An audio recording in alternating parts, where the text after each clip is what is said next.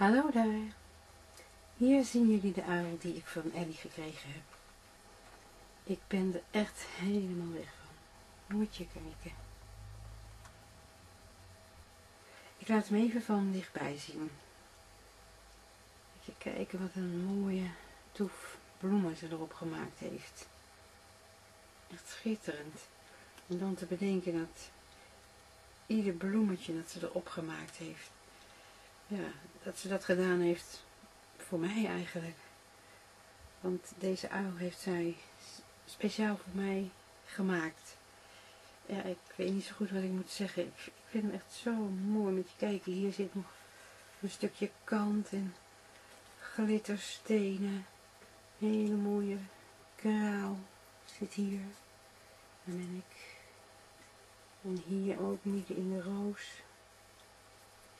Prachtige veertjes heeft ze erbij geplakt.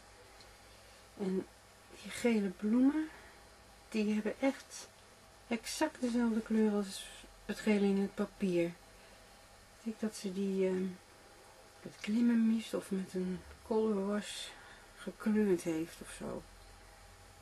En dan de ogen, die zijn gemaakt van knopen.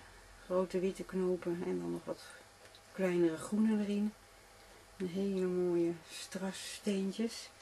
En dan onderaan, daar hangt een bordje nog met mijn naam erop.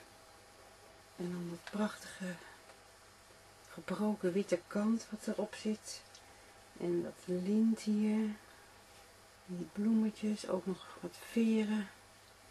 Ja, ik ben er gewoon echt helemaal weg van. Dat ze dat speciaal voor mij gemaakt heeft, dat vind ik echt... Dat vind ik eigenlijk altijd met dingen die iemand zelf gemaakt heeft en die je dan krijgt. Het idee dat ze dat helemaal bedacht hebben en er waarschijnlijk een tijd mee bezig zijn geweest. Fantastisch. Hier zit ook nog een hele mooie pin die ze zelf gemaakt heeft.